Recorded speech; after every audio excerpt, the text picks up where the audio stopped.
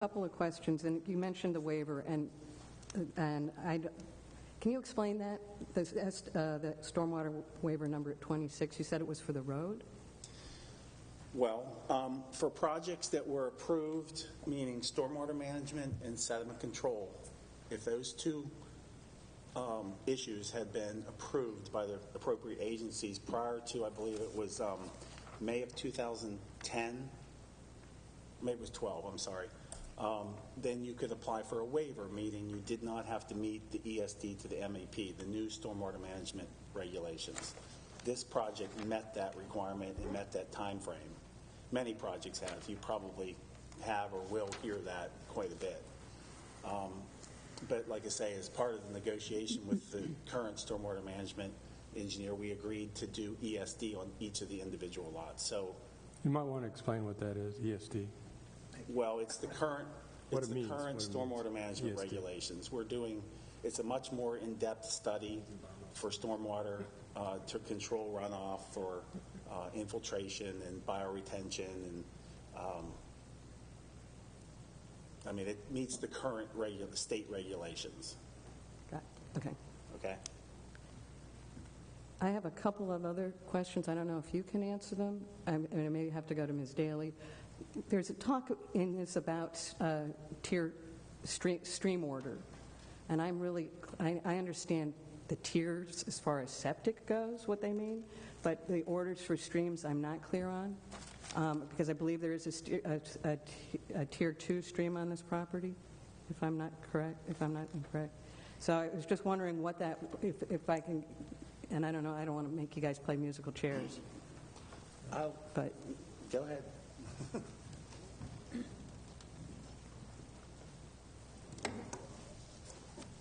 Hi, I'm Amy Daly with the Department of Planning and Growth Management. I'm a planner. Um, you've got three different items that you're dealing with in that statement. Uh, you have stream orders, which basically define what type of stream they are and how they're regulated, and then you have the septic tiers one, two, three, and four. And then what you're what you're talking about specifically with Hunter Springs is that there was a designated tier two water in the Hunter Springs subdivision area, which I mentioned in the finding for the habitat protection, how they've expanded the resource protection zone to encompass a little bit more for that tier two buffer. And basically, tier two is a designation by state or federal agencies that it's more of a pristine waterway, and there's that extra buffer or extra protection. And as part of their habitat protection, this applicant has chosen to expand the resource protection zone, which is allowed under our ordinance and, and basically encouraged and required um, as a habitat protection measure. They've, they've expanded to the Tier 2 buffer, which is normally something regulated at an MDE level, Maryland Department of the Environment level. and tier two is more pristine than tier three. I'm just not sure which way we're going. I don't know that there's necessarily a Tier 3 Oh, okay. designation.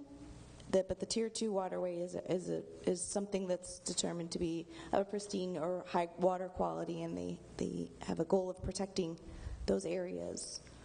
Did you want to add anything, Mr. Lexman? Okay. I mean, that's a pretty good explanation. Okay, yeah, because there's something, and I, I d- didn't mark where, it says that the, an order of three stream has a 100-foot buffer, or Those- an order of those are- two has a 50-foot buffer. Okay. Those orders are about how the stream is, is made or, or, or what, what comes together to create the stream. And that, that's how we determine at Charles County what size buffer we apply to it. Uh, an order one stream when, an order two stream are the smaller streams. Two order ones come together to make an order two. Then two order twos come together and make an order three. There's a hierarchy of, of streams as they come together and what they create. And your threes and fours are your larger stream beds. Um, your Mattawoman Creek, Potomac River. We, the largest stream order we have is a four. So the larger larger streams in Charles County are threes and fours, and they have the minimum 100 foot buffer from the edge of channel. So some streams have that, and that's how we determine our buffer. So that's a different classification than what MDE would be regulating. Okay. It's kind of a universal way of classifying a stream body. Okay, I think I have it. And I can provide more information Okay, that would be great. So I'm still a little conf- confused, but that's me. Um, I have another question, and again, it may be to Mr. Lesner.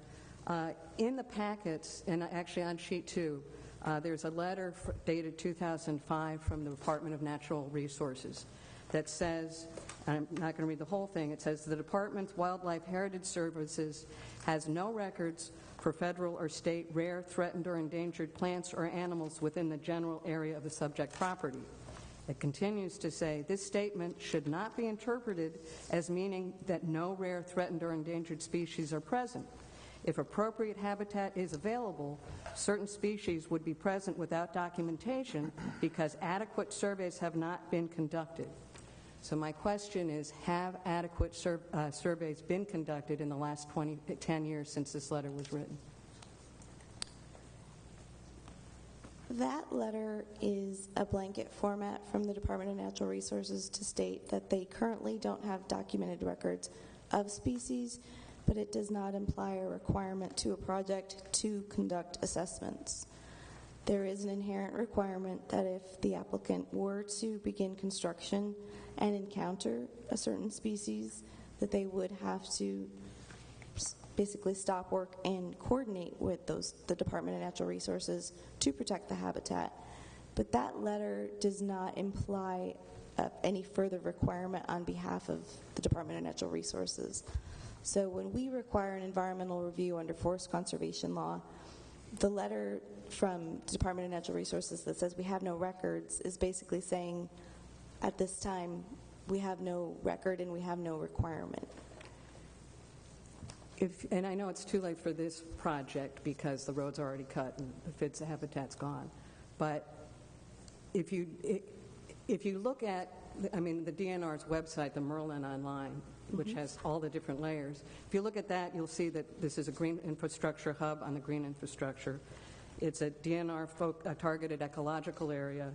Uh, It's uh, a FIDS habitat, and it's within a 1,000 feet, if I'm doing the little measuring thing right, within a sensitive species project review area. So I guess my question is, is there any way that, the- that uh, the county can trigger a request to do, to do a survey? I mean, if you don't look for it, you're not going to find it. And is that something we should consider? Under the current codes that we have, I'm not aware of any ability that we have to compel a survey Okay. with that type of comment from the Department of Natural Resources. Is that something we could do? Well, what about the forest conservation? Do they, do they do inventory work with the forest conservation plans, or is it just for the trees?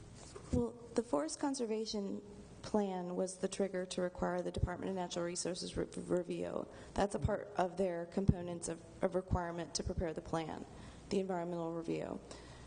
Um, and so that is, is incorporated into how we, how we, meaning the county and both the applicant, are looking at the forest areas on site and determining, determining where the preservation should occur. Beyond that, there's no additional assessment requirement for habitat to, to, to be compelled or to, to be required of the applicant. Okay. We look at the priority areas, we look at the stream areas, but if the Department of Natural Resources sends a letter of that nature, It says when we didn't look, and if you- nobody looks, we're not going to find it. we have no way of compelling further mm-hmm. searching at this time. That's the questions I have. Ms. Jones?